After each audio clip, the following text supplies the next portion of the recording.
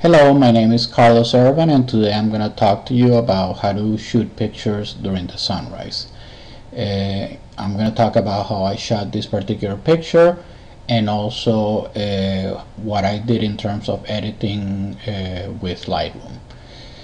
Well, this is a picture that I took last Sunday and uh, what I, I want to show you first of all is what the raw file looks like so that you can see that it really did not require a whole lot of editing other than a little bit of contrast and sharpening.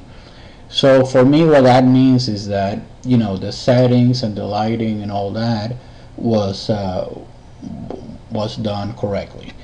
Now uh, when you when you go and shoot a sunrise uh, with a model my first recommendation and it's kind of obvious is that you show up really early okay? Because the sunrise comes very very quickly and you want to make sure that you have all of your settings and your test shots and everything out of the way before your model arrives. Uh, when I took this picture the basic setup that I had was I used a reflector with a strobe and I was basically shooting front because my plan was basically to have the sun right on her head so that would be the backlight and I was basically shooting against the sun so I needed to counteract the power of the sunlight. Uh, by the way I recommend that you buy a app which I think is actually I think is free. It's called Sunseeker. There is a light version and I believe that one is free and it tells you exactly at what time is the sunrise and when you point the iPhone or Android any whatever smartphone you have towards the sky it will tell you exactly where the sun is going to come up. Uh, I used it for the first time uh, when I did this shoot um, and and it was wonderful because my original plan was to shoot on the other side of the pier and as soon as I knew where the sun was coming up then um, you know I was able to adjust so basically I was using a silver reflector and it was just straight to her. Here you can see when the model arrives um, you know basically uh, I was pointed exactly to her a little bit higher. Maybe in this particular case now that I think about it maybe I would have put it just a little bit higher maybe more at an angle. But anyway uh, and I was shooting with a 70 to 200 and we'll see in a second if I was zoom all the way at 200 I was holding a tripod because with this lens you know I didn't want to risk any uh, motion shake or blur and make sure that the picture was really sharp. And this as you can see I was very low. So this is kind of the angle that I was when I took this picture. So let's talk a little bit about uh, the picture itself. Let me see let me find it. Uh, okay. Where is my filter? Sorry. So uh, well this is another picture. So this is my raw file. Let, let's first start with the raw file. Uh, the only thing that I did to this particular the only thing that I did to this picture well first let's talk about the settings. So I was at 86 millimeters and it was because it was a full body shot. Actually I did many other shots where I was three quarters and even uh, almost a headshot and I was uh, at that point mostly at 200 now the reason why I chose f11 was because I wanted to get um, detail in the background. Uh, a lot of um, and this is a matter of taste. A lot of photographers will shoot this kind of picture at f4 or 5.6 and get a blurry background. But in this particular case I really wanted to get that beautiful sunrise. Maybe it's because I love also doing landscapes and maybe there is that landscape photography in me that I want to shoot that beautiful sunrise. So that was the the basic idea and I was at ISO 200 and actually you know I I probably recommend that when you have the sunrise you shoot at ISO 100 if that's your native I was at 200 because I started shooting before the sunrise and a little I needed that little bit more power you know just to be able to be at f11 but the settings again what I always do is I expose for the background first. Once I have the background that I want then basically um, you know expose for the background at the f-stop that I want which in this case was f11 I was able to be to do it at 100th of a second and ISO 200 sometimes if it's very bright you may have to go to 250 of a second and go to ISO 100 or even go to a neutral density filter.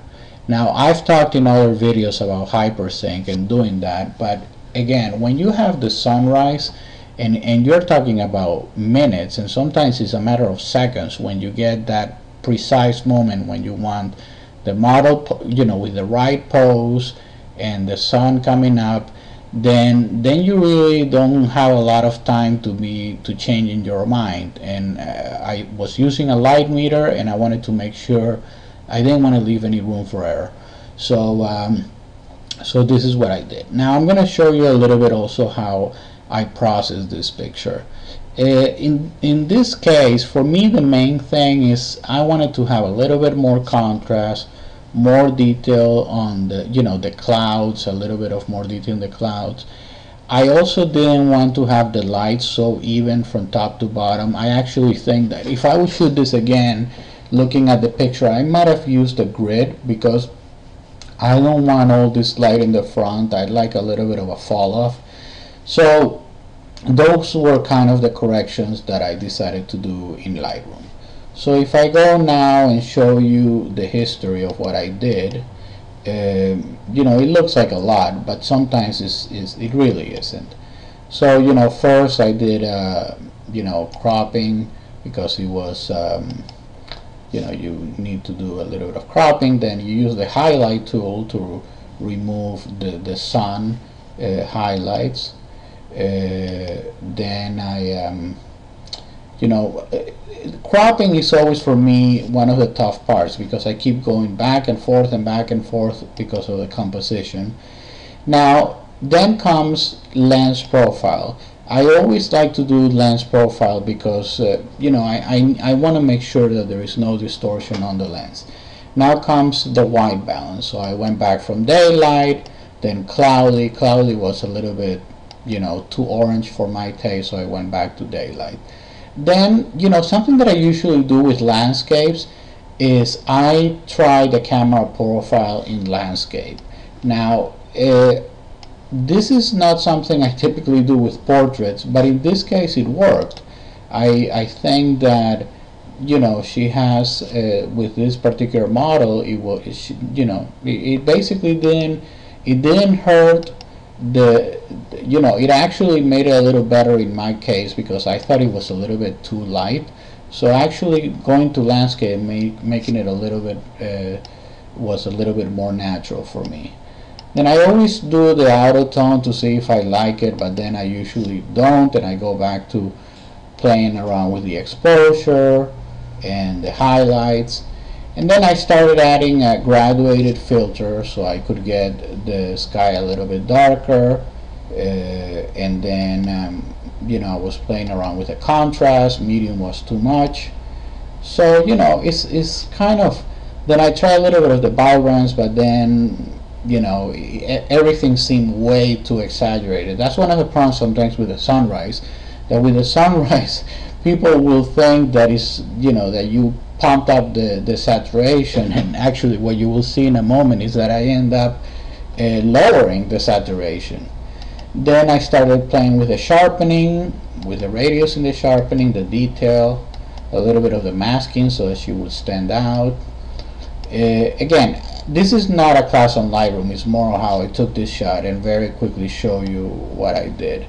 Then I did a, a little bit of a um, adjustment brush to um, you know to make something stand out went back to graduated filter and and you see it's, it's this whole thing with the white balance is always so subjective and I kept going back to to my white balance. Here is what I was telling you that I I actually went to minus 10 in saturation. Said well minus 10 may be too much. Maybe I go to minus 7 then oh so then I did an, an another adjustment brush because I, I wanted the water to stand out a little bit more. It was it was very dark.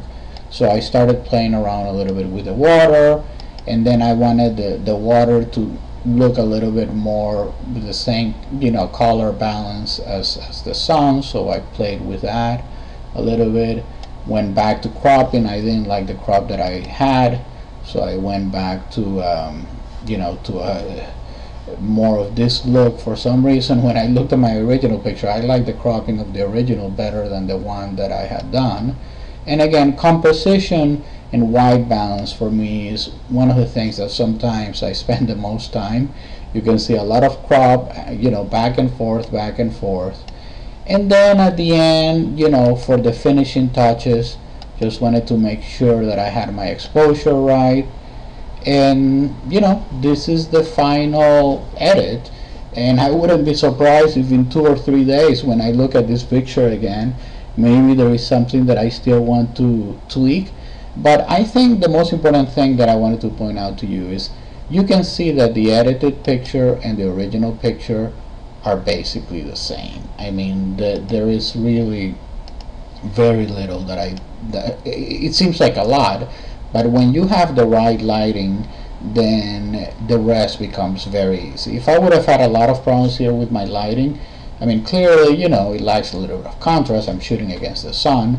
But other than that um, you know th th there wasn't much that, that I needed to do. I, I, wanted to have a little bit of a more dramatic uh, look. So that's why I went to more of the contrasty look. But for some people again it's a matter of taste maybe you like this better. So in summary my recommendation is that you show up really early you start metering the light go with a friend or somebody that uh, that can help you so that you can you know do different test shots before the model arrives. I like using a long lens um, the 70 to 200 for me is the ideal lens especially on the beach because uh, I get compression which I like and um, you know I uh, this is my preferred lens for for this particular type of shoots. So I hope you found this useful. Uh, again my the point of doing this video is because sometimes these pictures seem like very hard to do and they are not. Uh, you just need one light and and preparation and and having your exposure correct and metering the light and and and that's it. I mean it's not a whole lot more that you need to do. Oh one more thing I forgot to mention. One of the things that I had to deal with and this I knew right when I uh, I actually wanted to do this with a beauty dish uh, silver beauty dish. But as soon as I arrived it was so so windy that I changed to a reflector. So I did have to play a little bit of with the distance of the reflector to make sure that I did get enough uh, coverage because when you have a small reflector you know you may not have enough uh, light for a full body shot so you just move it a little bit back. In this case I think I moved it too much back because I got too much light here and that's why I had to play a little bit you know with the, the fall off uh, on my edited shot because I, I do like you know the face to be more lit and then to kind of start going down maybe a stop lower when you get to, to the foot. So thank you very much and I hope you found this uh, video uh, interesting and, and encouraged you to go and do some sunrise shoots uh, with models or family or whoever. Okay, thank you.